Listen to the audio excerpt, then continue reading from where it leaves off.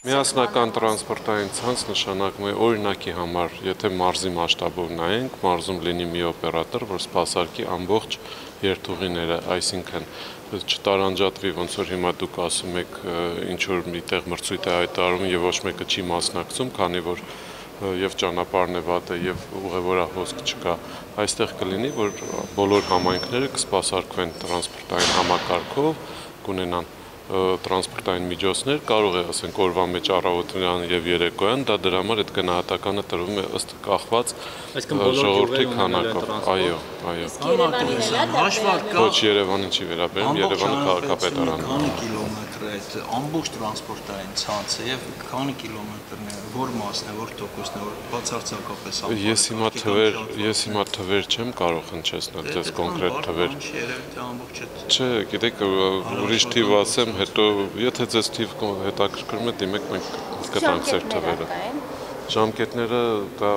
մի օրում չի լինի, որ ասենք այս ինչ օրը եւ կփոխվի։ Ինչի համար ես նշեցի, դա կախված է, դա կախված է սպասարկող ընկերությունների ժամկետներից հետ։ Զուգահեռ կարող է լինել։ Մենք ուզում ենք ինչ-որ մի պիլոտային ծրագիր անենք, դա իհարկե դեռ մտահղացում է, դեռ նես չի, որ արդեն կարող ենք վաղը հայտարարել այդ պիլոտի մասին, բայց մի պիլոտային ծրագիր կանենք մի մարզում, որ հետագայում նո աշխ զուգահեռ աշխատելով զուգահեռ պետք է գնանք եւ անենք եւ ճանապարհները եւ տրանսպորտային համակարգը։ Բյուջեն այդքան միջոց ունի, որ եւ ճանապարհների հարցը լուծի եւ տրանսպորտը։ Բյուջեով նախատեսված ճանապարհների հարցը